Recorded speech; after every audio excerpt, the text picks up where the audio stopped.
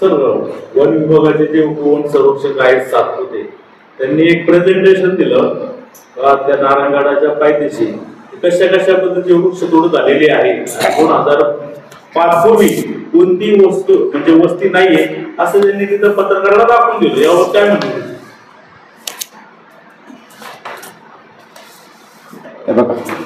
या ठिकाणी हा हा जो अहवाल आहे हा वन विभागाने या ठिकाणी तयार केलेला आहे.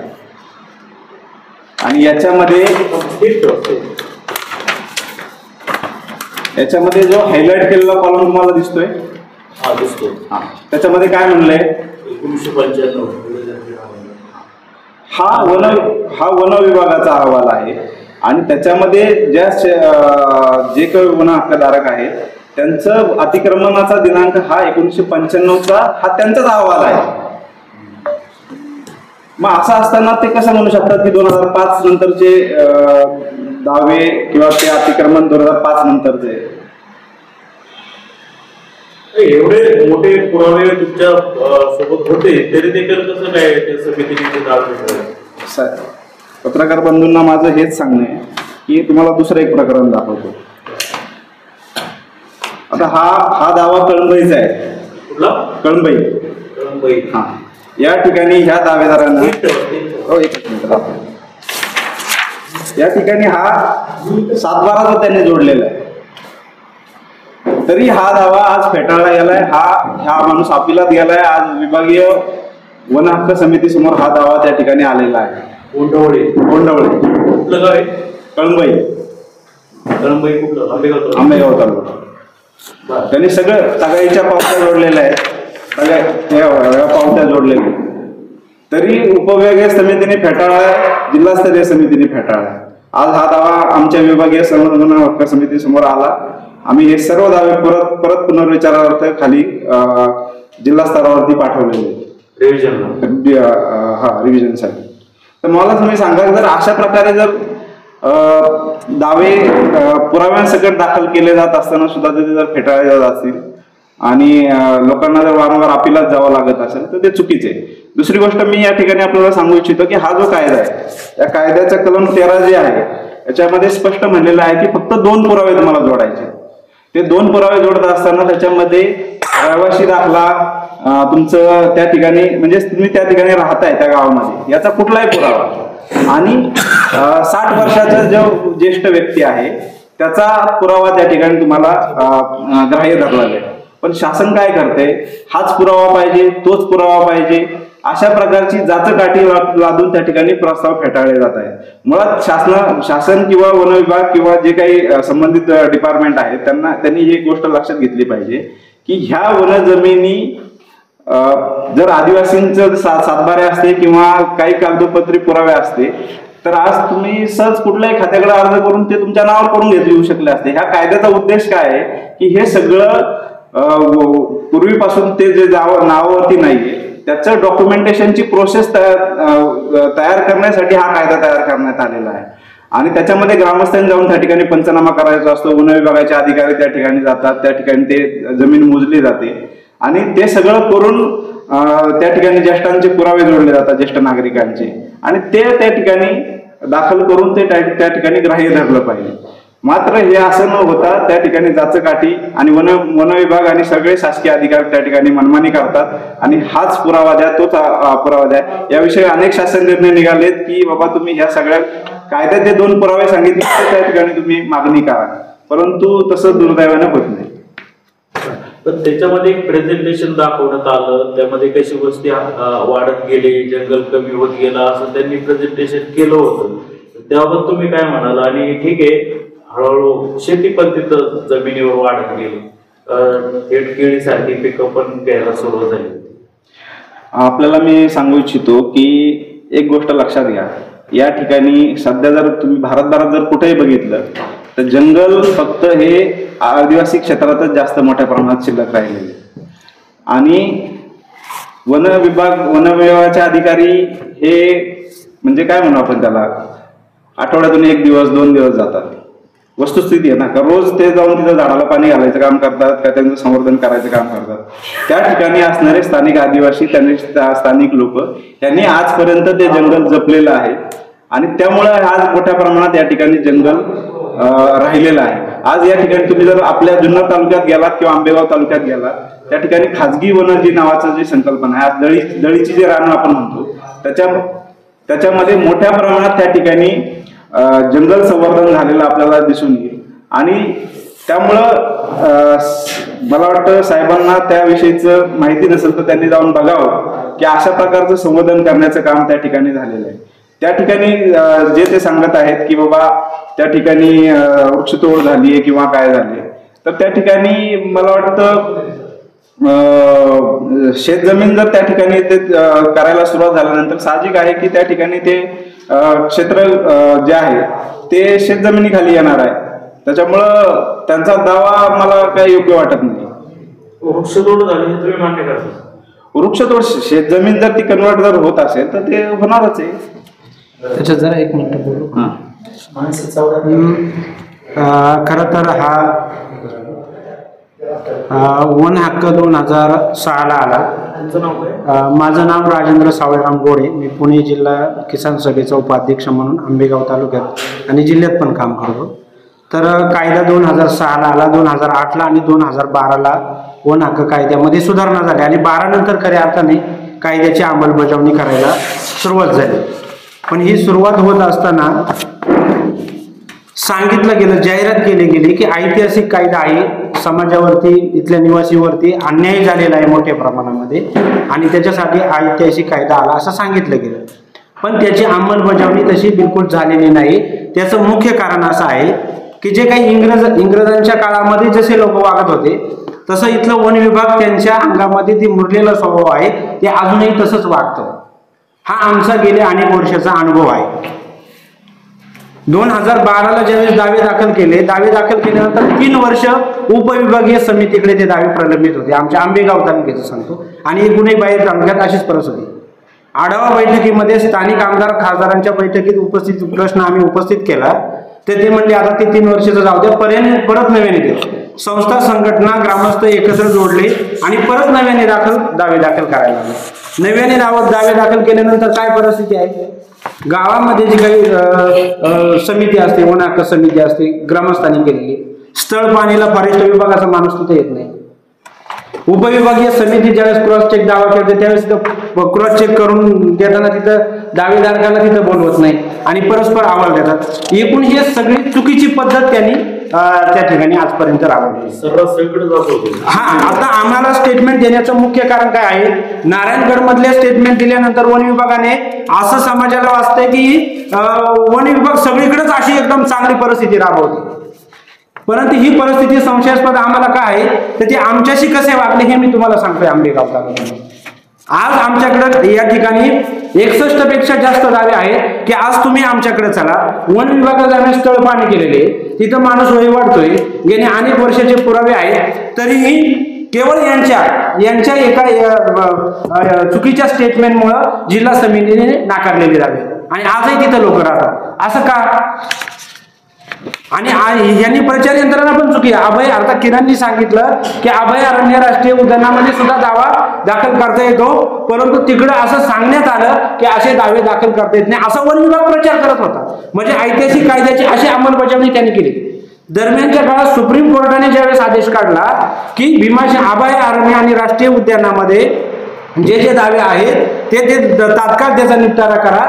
असं सांगण्यात आलं. तेव्हा लोकांना कळालं की अभयारण्य सुद्धा वैयक्तिक दावे दाखल करता येतात सामुदायिक दावे दाखल करता येतात. म्हणजे हे अशा पद्धतीने वन विभाग चुकीचं मार्गदर्शन करत आलं चुकीचं आजपर्यंत वाढत आणि त्याच्यामुळं आजही खेड जुन्नर आणि आंबेगावमध्ये वैयक्तिक आणि सामुदायिक सामुदायिक वन हक्क दाव्यात काय सांगितलं जात आहे की तिथल्या गावच्या कार्यक्षेत्रामध्ये सामुदायिक वन हक्क आहे तो दावा मंजूर झाल्यानंतर त्याचं मॅनेजमेंट नियोजन आणि सर्व सार्वभौम अधिकार तिथल्या ग्रामसभेला प्राप्त होतात. किती दावे प्राप्त झाले? आणि ज्या गावांना दावे प्राप्त झाले संघटनेने पाठपुरावा त्याची पुढे काय अंमलबजावणी केली? काहीही नाही. म्हणजे वन विभाग इथं जाणीवपूर्वक टाळाटाळ केलेला आजपर्यंतचा अनुभव आहे. आणि त्याच्यामुळे इथले जे काही हक्क त्या कायद्याने ज्यांना हक्क मिळालेला आहे निवासींना. तिथं जमीन कसायचं असेल विविध विकास कामांचा असेल त्याच्याबरोबर जाणीवपूर्वक डावलेला आहे. माझा स्पष्ट आरोप आहे वन विभागाचा विषयीचा. आमच्या आज पंधरा वर्षाच्या अनुभवानंतर असा आरोप आहे की इंग्रज जसे वागत होते तसेच ते वागतात. आणि बरेचदा आमच्या काय काय गावामध्ये येऊन अंमलबजावणी करताना इंग्रजांच्या काळातले कायदे सांगतात. परंतु स्वातंत्र्यानंतरच्या कायद्याची तुम्ही काय अंमलबजावणी करतात याच्यावरती काहीही ते बोलत नाही. मग नैसर्गिक न्याय कुठं आला? नैसर्गिक न्याय काय सांगतो? की निसर्गावरती जग जंगलवरती आमचा जर अधिकार आहे आणि इतिहास पण सांगतो मला मुद्दा मी या ठिकाणी सांगतो की या संदर्भात ज्यावेळेस आम्ही नागपूरला त्यांच्या विभागामध्ये गेलो होतो त्यावेळेस असेच आमच्यावर आरोप करण्यात आले की इथल्या आदिवासींनी जंगल नष्ट केलं. त्यावेळेस कोंडीबार दबे नावाचा एक आमचा ग्रामस्थ होता त्यांनी सांगितलं जंगल आमची आई आहे तिच्या दुधावर आम्ही जगतो रक्तावर नाही जगत आम्ही. म्हणजे तुम्ही जे समजता वन विभाग जे समजता की इथल्या जंगलाचं शोषण इथला आदिवासी करतो ती चुकीची पद्धत आहे. काही प्रमाणात आम्ही जंगल तोडतो उपभोगतो हे शंभर टक्के बरोबर आहे. पण ते आमचं दूध आहे.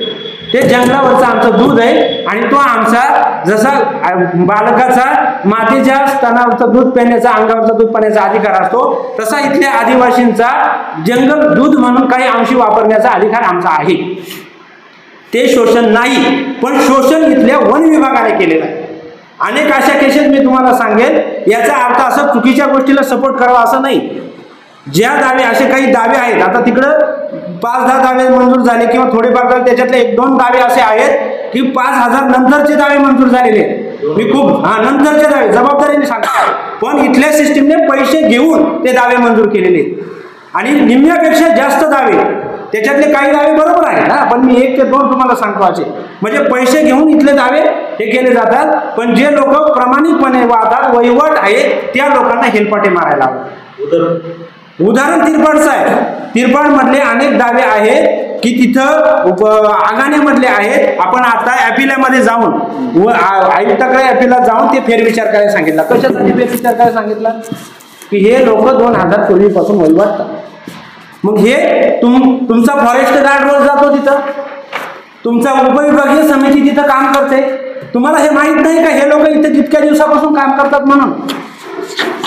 कशासाठी फेरविचार करायला? उपआयुक्ताकडे आम्हाला जावं लागलं आणि त्यांना परत तुम्हाला सांगावं लागलं.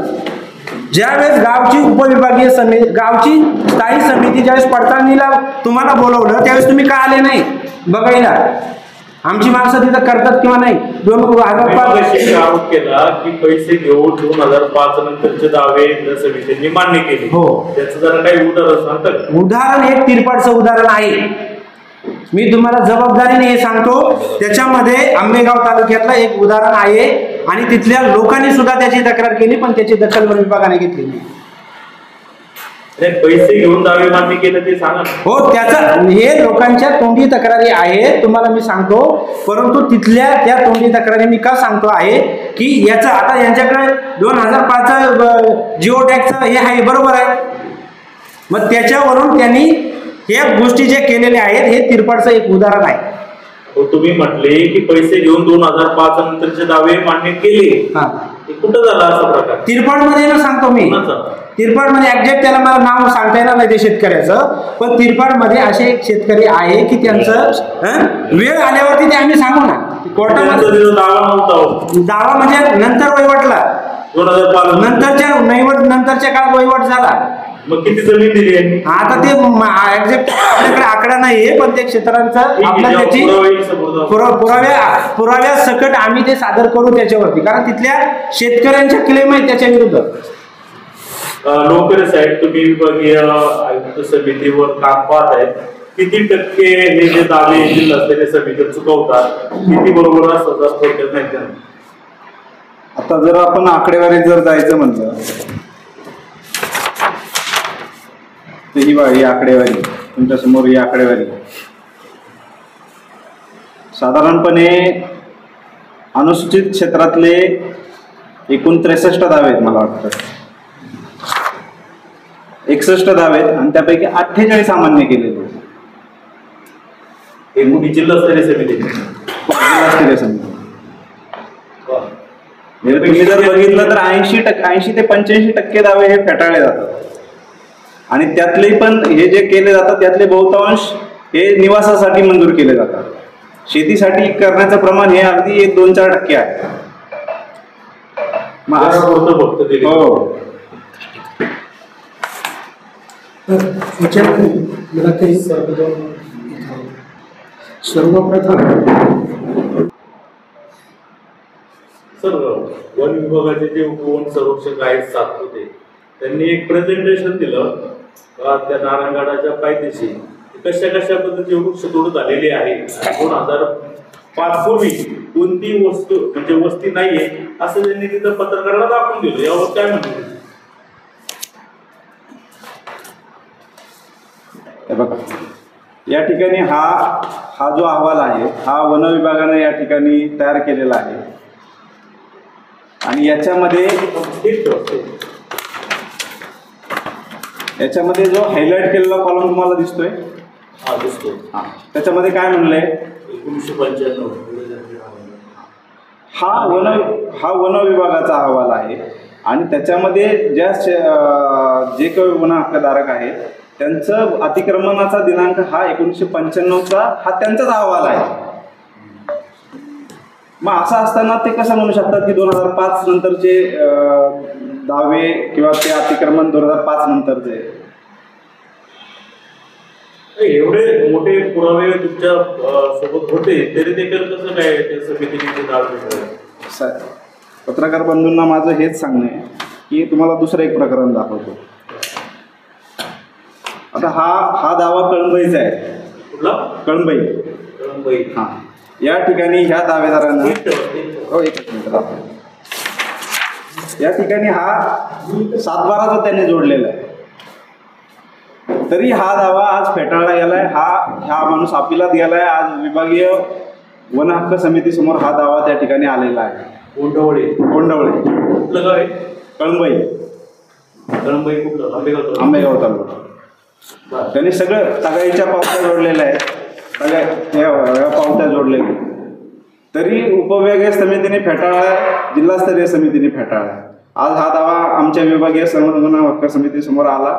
आम्ही हे सर्व दावे परत परत पुनर्विचारार्थ खाली जिल्हा स्तरावरती पाठवलेले अं, हा रिव्हिजनसाठी तर मला तुम्ही सांगा जर अशा प्रकारे जर दावे पुराव्यांसकट दाखल केले जात असताना सुद्धा ते जर फेटाळले जात असतील आणि लोकांना जर वारंवार अपिलात जावं लागत असेल तर ते चुकीचे आहे. दुसरी गोष्ट मी या ठिकाणी आपल्याला सांगू इच्छितो की हा जो कायदा आहे या कायद्याचा कलम तेरा जे आहे याच्यामध्ये स्पष्ट म्हणलेलं आहे की फक्त दोन पुरावे तुम्हाला जोडायचे.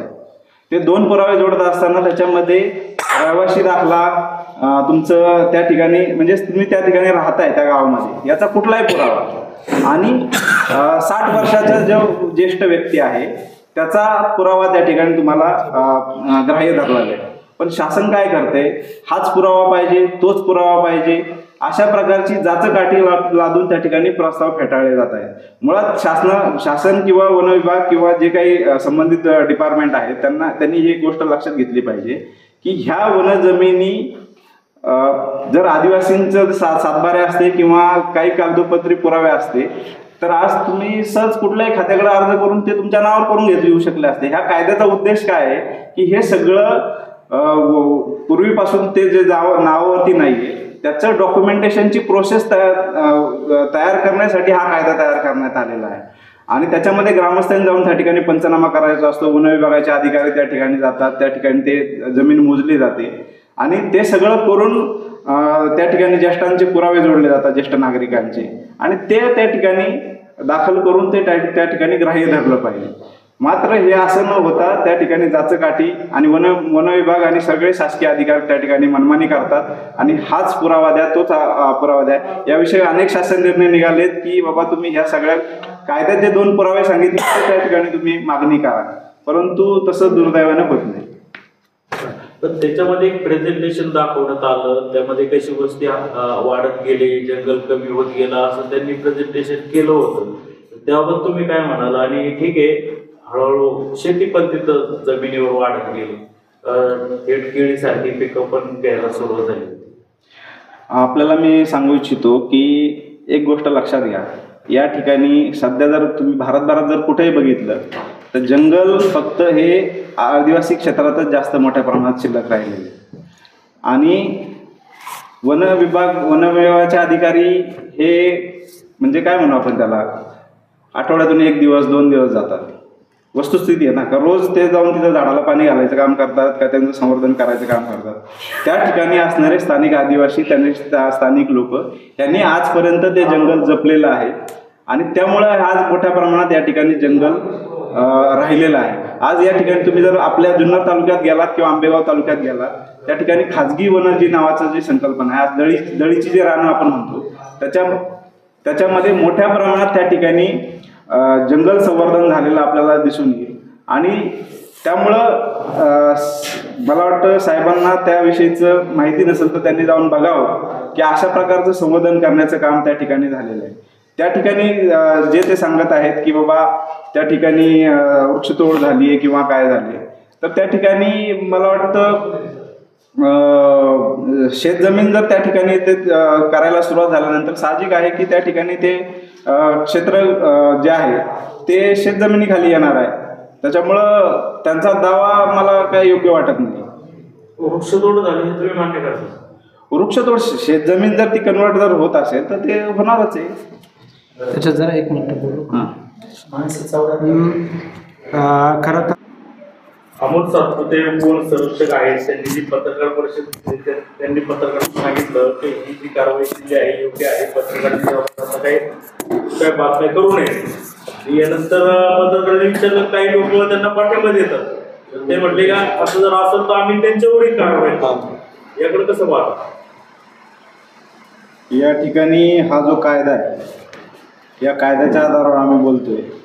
आणि त्यांना जर वाटत असेल की आम्ही सगळं चुकीचं बोलतोय किंवा कायद्याला न धरता बोलतोय तर त्यांना जे करायचं त्यांनी करावं. त्यांनी पत्रकार परिषद असं सांगितलं की जिल्हा स्तरीय समितीकडे दावे फेटाळण्यात आलेले आहेत. हायकोर्टाने काहीतरी आम्हाला सांगितलं तुमच्या पद्धतीने कारवाई करा असं त्यांच्या बोलण्यात येते आता यानंतर अपील कुठं करायचं असतं? विभागीय आयुक्ताकडे करायचं असतं हे तर माहिती आहे. त्यानंतर काही हायकोर्ट आहे का राज्य सरकार आहे याबद्दल स्पष्ट करा. आता ह्या हे जे प्रकरण आहे याच्यामध्ये विभागीय आयुक्ताकडे अपील करण्याची संधी आहे. दुसरी गोष्ट हायकोर्टातही या ठिकाणी अपील दाखल करता येईल. हायकोर्टामध्ये या यापूर्वी मला वाटतं वडगाव रासाईचं एक प्रकरण असंच आहे. वडगाव वडगाव रासाईच्या प्रकरणामध्ये अशाच प्रकारे ते सगळे अतिक्रमण जे आहे ते काढून टाकण्याचे आदेश करण्याचा डाव होता. परंतु त्या हां? केलेली हा केलेलं होतं. त्या ठिकाणी हा डाव आदिवासी किसान सभेनं त्या ठिकाणी हस्तक्षेप केला. त्या ठिकाणी कोर्टामध्ये रिट याचिका दाखल केली आणि आज त्या गोष्टीवरती त्या ठिकाणी स्टे आलेला. त्याच्यामुळं मला वाटतं शासनाच्या बाजून श- म्हणजे शासनात शासनाकडं लढण्यासाठी साठी आपल्याकडे आयुध आहे. त्याचा आपण जर योग्य वापर केला तर आपल्याला त्या ठिकाणी न्याय मिळू शकतो. आणि जर अधिकारी जर असं जर प्रकारची जर दमबाजी करत असतील की बाबा याच्या विरुद्ध जर कोणी सपोर्ट करत असेल किंवा हे करत असेल तर हे अतिशय गंभीर आहे. मला वाटतं मला वाटतं मी विभागीय आयुक्तांच्या पुढच्या बैठकीमध्ये हा मुद्दा नक्कीच उपस्थित करेल. आता जिल्हास्तरीय समितीने जरी आपल्याला फेटाळले असले तरी लोकांना आयुक्त म्हणजे कलेक्टरने जरी फेटाळले तर आयुक्तांकडे समितीकडे अपील करायचे चान्सेस होते. त्यांनी तसं अपील केलं होतं का ते फेटाळलं होतं का डायरेक्ट कारवाई कशी झाली? त्याच्यामध्ये काय झालं की त्याच्यामध्ये अपील करत असताना जी कमिटी जी आहे जी आमची विभागीय आव्हान समिती जी आहे ती अनुसूचित क्षेत्रासाठी आहे. आणि त्याच्यामुळं कदाचित त्यांना वाटलं असावं की ह्या विभागीय आयुक्तांकडे अपील करावं की नाही पण जर अशा प्रकारे अपील केलं तर विभागीय आयुक्त ते दाखल करून घेतात आणि त्याच्यावरती सुनावणी होते. परंतु त्यांनी दुसरा पर्याय अवलंबला. त्यांनी काय केलं की एस सी एस टी कमिशनकडे ते त्या ठिकाणी गेले. म्हणजे अनुसूचित जाती जमाती जो आयोग आहे त्याच्याकडे गेले त्याच्या सुनावण्या चालू होत्या. आता फेब्रुवारीमध्ये त्याच्या सुनावण्या चालू होत्या. आणि त्या सुनावण्या चालू असताना हे कार- कारवाई झाली. त्याचा त्याची कुठलाही निर्णय यायची कलेक्टरला त्या ठिकाणी सुनावणीसाठी बोलवण्यात आलं होतं. एस सी एस टी कमिशनने. पत्र आहे. यांची चुकी झाली का? विभागीय आयुक्तांकडे त्यांनी अपील केलं नाही यांची चूक का? मला वाटतं त्यांना नोटीस मिळाल्यानंतर त्यांनी विभागीय आयुक्तांकडे अपील दाखल करायला पाहिजे होतं त्याचबरोबर हायकोर्टातही जायला पाहिजे होतं. कदाचित हायकोर्टातून या गोष्टीवरती स्टे मिळाला असता. परंतु परत परंतु लाईक आदिवासी समाज हा तेवढा शिकलेला नाहीये. त्यांना त्या गोष्टीची सगळ्या गोष्टीची माहिती नसल्यामुळे ह्या आर्थिक परिस्थिती नसते. हायकोर्टात जायचं म्हणजे त्या लाखो रुपयाचे त्या ठिकाणी उलाढाल करावी लागते. आणि त्याच्यामुळे ह्या सगळ्या गोष्टी झालेल्या आहेत. हायकोर्टामध्ये एक दावा चालू होत आहे बाबत हायकोर्टाने म्हणजे योग्य ती कारवाई करा असे निर्देश दिले असं सातपुतेंच्या बोलण्यामधून आहे. हा काय प्रकार होता? नाही तेच ते ते सेशन कोर्टाचं बोलत होते. हायकोर्टाच्या बाबतीमध्ये ते वडगाव राशीचं वेगळं प्रकरण आहे. वडगाव राशीच्या प्रकरणामध्ये असाच प्रकार झाला होता सेम प्रकार. आणि त्याच्यामध्ये तिथल्या लोकांनी म्हणजे संघटनेने विशेषतः किसान सभेने त्या ठिकाणी तत्काळ हस्तक्षेप केला. रात्रोरात जाऊन त्या ठिकाणी कोर्टामध्ये रिट याचिका दाखल केली आणि त्या ठिकाणी स्टे मिळवला. ही जी तोडक कारवाई झालेली आहे ही कितपत कायदेशीर ही जी कारवाई आहे ऍक्च्युली ही ह्या सगळे न्याय न्यायप्रविष्ट असताना वन विभागाला एवढी घाई करण्याची काहीच गरज नव्हती. त्या लोकांना नैसर्गिक न्यायाच्या तत्वांना जीव जिथपर्यंत त्यांना ते अपील करायची होती ती करण्याची संधी देणं देणं गरजेचं होतं. आणि त्यानंतर मग जर तेवढाही करून जर निकाल जर त्यांच्या विरोधात गेला असता हायकोर्टात जाऊन किंवा एस सी एस टी कमिशनकडे असेल किंवा अपिलां आयुक्तांकडे असेल तर त्यानंतर मग मात्र सगळेच त्यांचे पर्याय संपले असते. जर निकाल विरोधात गेला असता तर कारवाई झाली असती तर मान्य झालं असतं. परंतु अजून ती लोक लढत होती. वेगवेगळ्या संस्थांकडे न्याय मागत होती. ते करत असताना हे शेवटी हा उपजीविकेचा प्रश्न आहे हो. पोट पाणी त्यांचं त्याच्यावरती असताना त्यांना त्या ठिकाणी त्या ठिकाणी त्यांच्या मूलभूत अधिकारापासून त्या ठिकाणी या वना वन विभागाने वंचित केलेलं आहे असा आमचा आक्षेप आहे. वन विभागाने असं सांगितलं की त्यांच्या घरातलं साहित्य वगैरे आम्ही काढून बाजूला ठेवलं होतं. कोणते त्यांच्यावर तसं अन्याय केला नाही फक्त झोपड्या उद्दिष्ट केले पण असं बाहेर दाखवण्यात येतं की सगळंच घरातलं साहित्य पण नष्ट केलं? मला वाटतंय तुम्ही ते व्हिडिओ जर बघितले कारवाईचे त्यावेळेस ज्या महिलांचा आक्रोश असेल बालकांचा आक्रोश असेल लोकांचा आक्रोश असेल तो बघितल्यानंतर मला वाटतं ते उघड आहे. त्याच्यामध्ये असं काय म्हणजे अत्याचार म्हणजे काय मारहाणच करायला पाहिजे किंवा हे करायला पाहिजे असं काय नाही ना. एक स्व- त्यांचं त्या ठिकाणी त्यांच्या जीवनाशी संबंधित असलेली गोष्टी उद्ध्वस्त करणे हा एक प्रकारचा अत्याचारच आहे ना. वन विभागाचे अधिकारी होते. असं आम्हाला जाणवलं की हे जे आंदोलन करते किंवा हे जे आदिवासी लोक आहेत त्यांच्या इतर तालुक्यात वगैरे जमिनी आहेत परंतु ते जागा घेण्यासाठी बळकवण्यासाठी वास्तव्य करतात त्यांच्या पर्यायी जमिनी आहेत. त्याविषयी वन विभागाने काय पुरावे दिले? नाही मुळातच आहे ना चुकीचं बोलतो वन विभाग जे आहे ना आत्ताची परवाची जी प पत्रकार परिषद आहे वन विभागाची ती पत्रकार परिषद म्हणजे त्यांनी जी कारवाई केलेली आहे त्याच्यावरती पांघरून घालण्यासाठी खरं म्हणजे त्यांचे हे सगळे प्रयत्न चालू आपण जर पाहिलं आत्ता जी आपल्यासमोर जी एकूण मांडणी केलेली आहे त्याच्यामधून स्पष्ट काय दिसतंय की कायद्याच्या चौकटीमध्ये ज्यावेळेस आपण आदिवासींचे अधिकार वन हक्क दा दाव्यांच्या अनुषंगाने जे मिळव मिळवण्याची प्रक्रिया आहे ती मिळवण्याच्या प्रक्रियेमध्ये आदिवासींची कोंडी करणं म्हणजे ती प्रशासकीय पातळीवरती असेल किंवा ती इतर कागदपत्रांच्या पातळीवरती असेल ती प्रचंड अशी कोंडी करणं ती कोंडी केल्याच्यानंतर जेव्हा आदिवासी ते म्हणजे ती कोंडी केल्याच्यानंतर पुन्हा मग त्यांच्यावरती कारवाई करायची. ती कारवाई केल्याच्यानंतर ज्या पद्धतीनं आता आपण पाहतो की मागच्या पंधरा दिवसांपासून यांचं एक एक प्रकरण पुढे येते वन विभागाचं की त्यांची कारवाई किती चुकीच्या पद्धतीनं आहे कशा पद्धतीनं आदिवासींवरती अत्याचार करतात आणि नुसतं आदिवासीच नाही तर एकूण समाजामध्ये त्यांच्याविषयीची जी नकारात्मक भावना लोकांमध्ये तयार होते ना तर त्या नकारात्मक भावनेला कसं ॲड्रेस करायचं?